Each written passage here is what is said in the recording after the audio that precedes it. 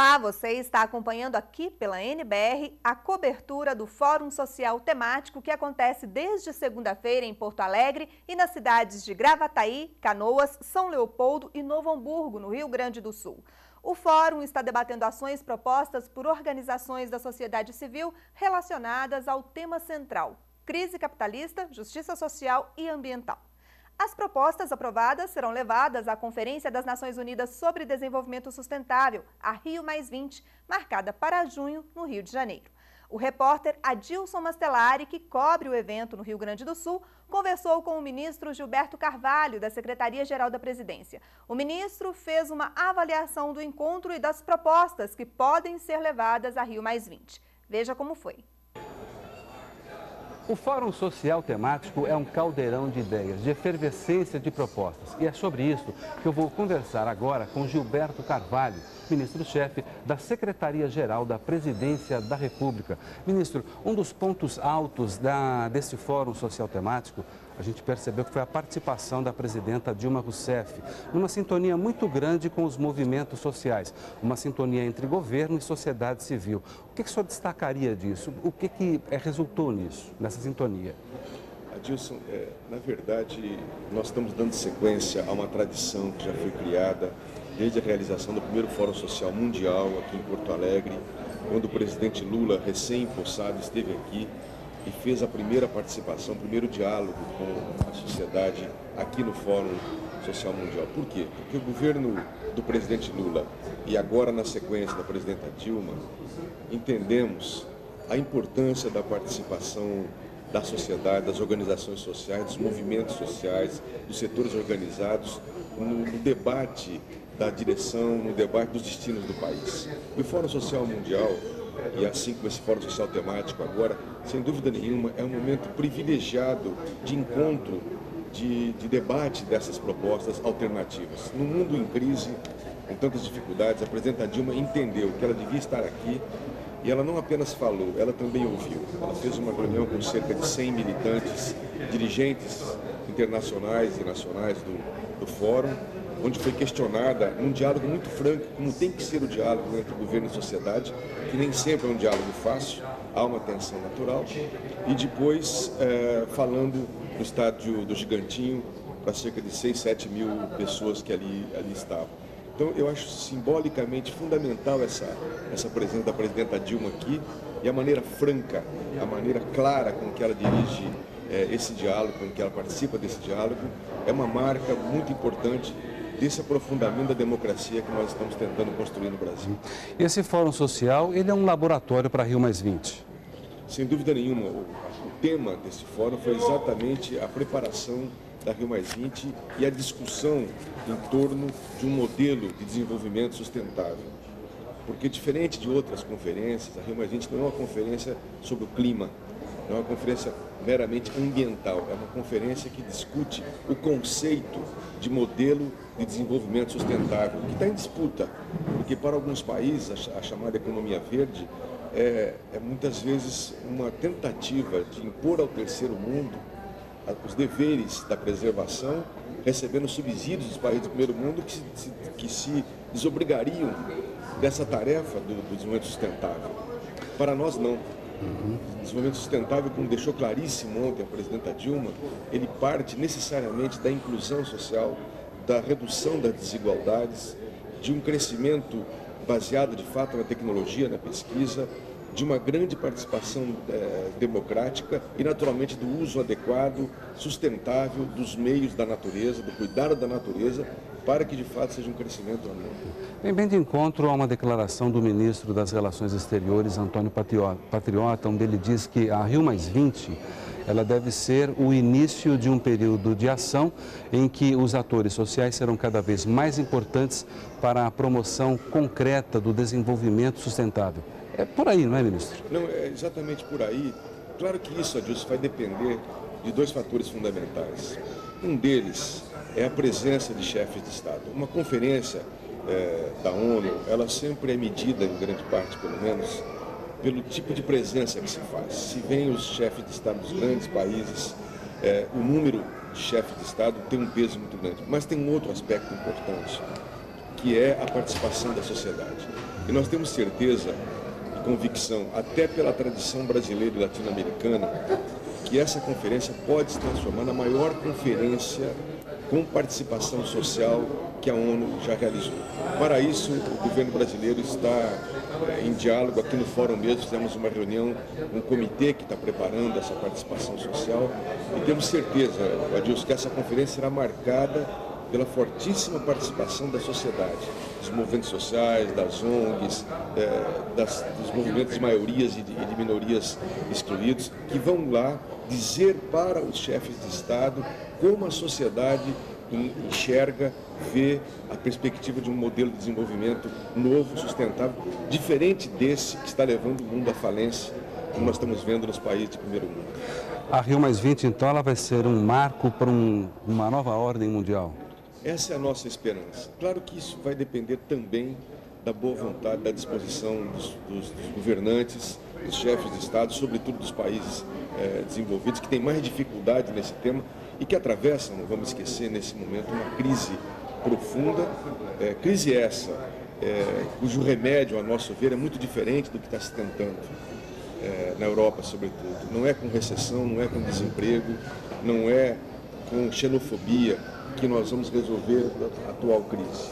Eu penso que, Adilson, nós estamos vivendo um momento muito particular em que os países da América Latina, os países da África, estão dando um exemplo de um novo modelo de desenvolvimento que a Europa e os países da OCDE deveriam mirar com muito cuidado, porque graças a Deus no, no Brasil, como nós podemos testemunhar, nos últimos anos nós estamos retomamos o crescimento com distribuição de renda, com ampliação dos empregos. A taxa de desemprego publicada nessa semana é a, a, é a menor taxa da história, desde quando começou a fazer essa medida, essa mensuração é, no Brasil, e com, com preservação ambiental. É verdade que temos muitos problemas nessa área, mas a própria ONU reconhece que o Brasil é o país que fez a maior redução de, de, da emissão de, de, de gases de efeito de estufa é, no mundo. Então há um esforço nosso, há um esforço de, de, de combinar o desenvolvimento com cuidado com a natureza. Eu acompanhei um debate aqui em Porto Alegre entre sociólogos e cientistas políticos, não só do Brasil, mas também da França, da Venezuela, do Chile, onde eles levantaram um aspecto importante é, a respeito da integração de lutas sociais. Essas lutas, elas não, segundo eles, não podem mais é, ser regionais, mas elas têm que ser globalizadas. Ou seja, a globalização não pode ficar só na tecnologia, na comunicação, mas as lutas sociais também têm que ser mais intrínsecas. Sem dúvida nenhuma. Aliás, ontem, no debate que foi feito com a sociedade civil, que a presidenta Dilma participou, isso vai ficando cada vez mais claro. Os movimentos precisam, e estão fazendo isso, estão alargando seus horizontes e vendo que a solução dos problemas não se dá apenas num país ou num continente. Elas têm que ser é, ampliadas. E outra coisa, disso, é, é muito importante que o governo tenha abertura para ouvir. Esse exercício que a presidenta Dilma fez aqui é, eu insisto, não é um exercício fácil. Você viu no Gigantinho, no, no, lá na manifestação, é, havia evidentemente uma grande maioria apoiando, mas havia um grupo contestando. É, nem sempre é fácil para o governo ouvir essa contestação, ouvir essas vozes, mas é importante. Porque se você não ouve, se você não tem abertura para o diálogo, você acaba tomando medidas que muitas vezes se equivocam. Então a democracia é uma arte difícil, exige um empenho, exige uma generosidade de, de cabeça e de coração, mas ela é essencial para que a gente juntos encontremos os caminhos melhores. Um outro aspecto, as medidas econômicas que o governo vem adotando ao longo dos últimos anos têm contribuído bastante para que o Brasil seja uma nova potência mundial. Ah, o Brasil está em sexto lugar como economia do mundo, mas além disso também tem o um aspecto dos programas sociais, que tem um impacto bastante significativo nesse crescimento do país. É, ironicamente, Adilson, a gente muitas vezes no Brasil trabalhava com aquela ideia de que era preciso primeiro crescer para depois distribuir. Deu no que deu. Deu numa brutal concentração de renda, nessa vergonha de o Brasil ter se constituído um dos países de maior concentração de renda do mundo. Desde o início do governo Lula, mudou-se a filosofia.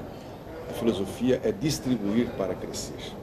E graças a Deus isso deu resultado. Nós estamos vendo que as políticas sociais, a elevação do salário mínimo, os benefícios de, de, de prestação continuada, para os idosos, para os deficientes, para todas as pessoas que têm é, problemas é, e carecem, Bolsa Família, foram medidas, entre outras, que ajudaram a injetar um recurso importante na, na economia, sobretudo nas regiões é, menos desenvolvidas e permitir inclusive uma, uma, e permitir inclusive uma redistribuição do crescimento no plano nacional.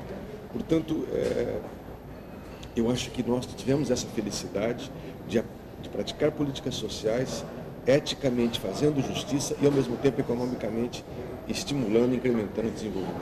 E isso, de uma certa forma, também é, leva o país a crescer de uma forma sustentável. Não é? E o exemplo disso seria, por exemplo, o Bolsa Verde, que hoje beneficia 17 mil famílias na Amazônia, fazendo com que essas famílias permaneçam lá e não venham para os grandes centros e lá possam desenvolver suas atividades. Exatamente. É, o Bolsa Verde, Adilson, é uma espécie de início de um processo que nós queremos fazer no país, em que também os pequenos agricultores, os que vivem em, em regiões de extrativismo e progressivamente também a agricultura, a agricultura familiar possa participar desse processo, recebendo uma compensação para contribuir tanto com a preservação da, da, mata nativa, como para o reflorestamento de áreas já devastadas. É, é, uma experiência que estamos realizando, eu tenho certeza que ela vai dar certo e ela deve se nacionalizar e se ampliar em todo o país. Ministro, muito obrigado pela sua entrevista e sucesso aí na sua empreitada junto com os demais membros da equipe do muito governo. Obrigado, muito obrigado, Adilson. Nós estamos tentando cumprir sob a orientação da presidenta Dilma o nosso papel que eu imagino, que eu tenho certeza que é importante para todo o nosso povo. E graças a Deus temos uma presidenta com uma firmeza, uma nitidez e um padrão de, de exigência de trabalho que vai fazer muito bem ao povo brasileiro. Obrigado, ministro. Conversei, portanto, com o ministro Gilberto Carvalho, da Secretaria-Geral da Presidência da República. E a ministra do Desenvolvimento Social e Combate à Fome, Tereza Campelo, que também está em Porto Alegre participando do Fórum Social Temático, assinou há pouco um convênio com a Fundação Banco do Brasil para a construção de 60 mil cisternas individuais em todo o país. A repórter Daniela Almeida entrevistou a ministra sobre o convênio que faz parte do programa Água para Todos. Acompanhe a entrevista. Nesta manhã, aqui na Universidade Federal do Rio Grande do Sul, aconteceu mais um evento do Fórum Social Temático. Os 10 pontos para a plataforma da tecnologia social Rio Mais 20. E foi assinado um convênio com a Fundação Banco do Brasil. Para saber um pouco mais sobre essa parceria, eu converso agora com a ministra do Desenvolvimento Social e Combate à Fome, Tereza Campelo. Ministra, vão ser construídas cisternas em todo o Brasil a partir desse convênio com a Fundação Banco do Brasil?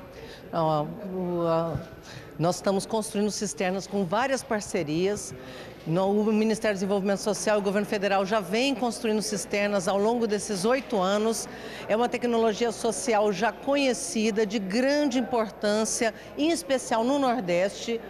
E esse nosso convênio que nós estamos assinando hoje, essa parceria com o Banco do Brasil, faz parte de um projeto muito maior, que é o Água para Todos, para universalizar a água para a população extremamente pobre no Brasil que não tem acesso à água. Em especial, nós vamos nos dedicar a colocar cisternas no Nordeste brasileiro, mas a ideia é levar água para todos. Com o Banco do Brasil, nós vamos construir 60 mil cisternas esse ano e a ideia é que com o Banco do Brasil, com ONGs, com governos estaduais, a gente consiga atingir a meta de construir 750 mil cisternas até o ano que vem. Essa estratégia faz parte do plano é, Brasil Sem Miséria. Brasil Sem Miséria é um, um, programa do Brasil Sem Miséria, o Água para Todos, e é voltado em especial para a população extremamente pobre do Nordeste. A partir de quando as prefeituras vão poder se candidatar a ter uma cisterna no seu município? Não são as prefeituras, essas cisternas são construídas individualmente. É uma tecnologia social voltada para cada uma das, das famílias extremamente pobres sem acesso à água e essa tecnologia social já testada, ela recolhe água de chuva, portanto não só ela atende a população, como ela também é sustentável do ponto de vista ambiental e é uma medida importante de adaptação a, a mudanças climáticas juntando aí não só a questão do combate à pobreza, como a questão da sustentabilidade ambiental e o uso de tecnologias da própria comunidade já reconhecidas. E ajuda também a agricultura familiar. Ah, certamente. Essas, essas famílias extremamente pobres do Nordeste, em geral, são agricultores familiares. Então, nós estamos aqui juntando né, vários interesses e conseguindo é, não só atingir essa população pobre, beneficiá-la, como levar água, que é, acho que de todos os males da pobreza, o mais severo. Agora, hoje à tarde, nesta sexta-feira, a senhora participa de, do debate que fala sobre a economia solidária como alternativa à crise econômica mundial. A senhora pode explicar isso para a gente? Bom, nós, no Brasil, estamos conseguindo construir uma estratégia para enfrentar a crise que inclui crescer, gerar emprego incluir e preservar o meio ambiente. acho que esse grande debate de como o Brasil tem enfrentado não só a crise, mas como tem construído uma estratégia diferenciada de desenvolvimento econômico é o grande debate que nós temos a oferecer. E nessa, nessa construção, várias questões são contempladas. Uma delas é essa de tecnologias sociais que nós vimos hoje de manhã aqui com o Banco do Brasil. A outra é economia popular e solidária, uma estratégia de empreendedorismo que, onde a gente aposta numa construção com cooperativas, com associativismo, valorizando a organização das comunidades, né, esse, essa associação que permite que elas melhorem seus empreendimentos e consigam produzir de forma sustentável e de forma organizada. Então é um jeito diferente de produzir, de vender, de comprar, sem explorar a mão de obra e o meio ambiente. Exatamente. Nós temos várias ações no governo federal que têm favorecido a economia popular solidária, inclusive no campo, como é o programa de aquisição de alimentos do governo federal, um programa de muito sucesso de compras públicas, onde a gente compra alimentos da agricultura familiar. Em geral, esse programa ele acaba estimulando que as comunidades de agricultores familiares se organizem, comprem equipamentos coletivos e com isso melhorem a produção, se organizem coletivamente e aumente a produção de alimentos. É um, acho que, dos exemplos importantes de economia solidária que nós temos no Brasil. Muito obrigada por sua entrevista. A NBR, é, mais informações sobre os programas sociais do governo federal estão disponíveis na página do Ministério do Desenvolvimento Social e Combate à Fome, www.mds.gov.br. Bom, você acompanhou então entrevistas com dois ministros que hoje cumprem agenda em Porto Alegre no Fórum Social Temático. A ministra Tereza Campelo, do Ministério do Desenvolvimento Social e Combate à Fome, e o ministro Gilberto Carvalho, da Secretaria-Geral da Presidência da República. Lembrando então que podemos voltar a qualquer momento de Porto Alegre com mais informações sobre o Fórum Social Temático. Continue com a gente, NBR e a TV do Governo Federal.